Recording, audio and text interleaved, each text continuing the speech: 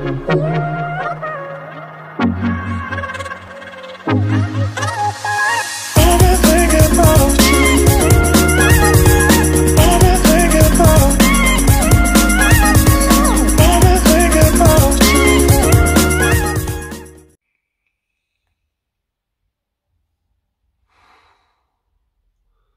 you lovely people, welcome back to my channel. Can you believe it? I've brought it back guys, yeah, guess that game is back. With episode 49 guys. I tell you what, so many people have been asking me to bring this back. I mean, it never went away guys, I just got sidetracked with a lot of other things. Um, but yeah, it is back guys, and we're back with a stunner. It's a shoot 'em up, that's the only thing I'm going to tell you. As you know, guys, the only things I tell you is if I choose to the genre, like I just did, shoot 'em up, and that it's on the platform, this time the PSP. So yeah, they're the only clues you get, guys. So yeah, who's going to get it this time? It is a shoot 'em up. So I'm thinking one of the usual suspects. It would be Nate, maybe? Dell? Steve, I tell you what, it's anybody's guess, isn't it? They're all brilliant. They all come in, sneaking in the back door, and they grab them. Oh, yes, they do. And I'll tell you what, guys, once it has been guessed, as usual, round of applause.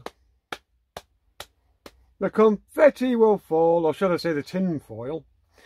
And of course, you know, I announce the winner in the next episode. So yes, guys, would you like to join me as we take a look at a very interesting hmm, title indeed? And the big question, guys. Can you guess that game? Back in a sec.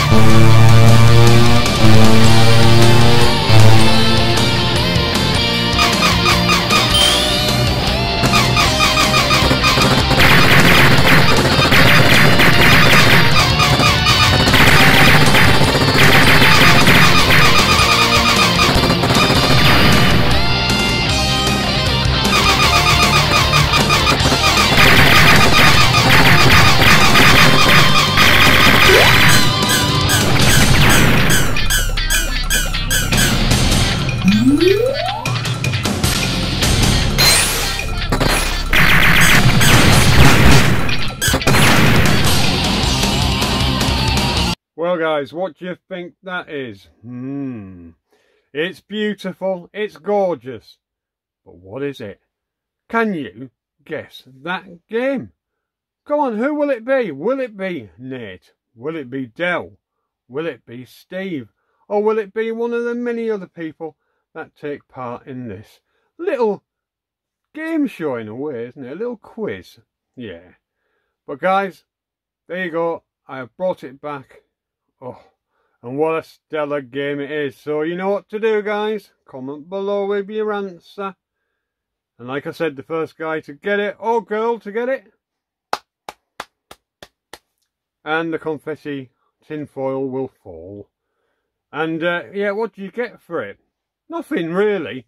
But I'll have a little uh, you know, a little word in the shell like of your partner and get you some extra loving, loving, eh? Maybe.